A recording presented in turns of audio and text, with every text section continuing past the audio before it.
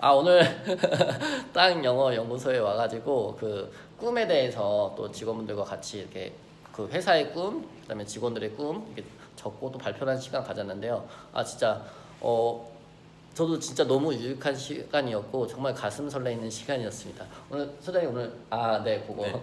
예전에 이렇게 네. 하셨던 거 네네 네 안녕하세요 따기만큼 영어에서 캡틴 유일 김영익 소장입니다 이거 제가 보물지도 3년 전에 만들었던 거거든요 그래서 이제 올라와서 생활을 이렇게 하다 보니까 어, 거의 다 이루어졌습니다. 그래서 이런 것들을 저희 직원들과 그리고 저희 회사 연구소 나아갈 방향 비전 같은 것들을 공유하고 좀 더 행복한 직장 생활 을 하고 친구들의 이제 미래를 위해서 목표를 가졌으면 좋겠고 해서 오늘 박형근 강사님 모시고 보무지도 따기만큼 영수 진행했는데 너무 뜻깊은 시간이었고 친구들도 네. 에너지업이 많이 된것 같아요. 네네네 그래서 만약에 기업의 이제 정체성, 방향성 그리고 직원들을 하나로 묶는 팀워크를 바라신다면 이 강의를 적극 추천드리겠습니다.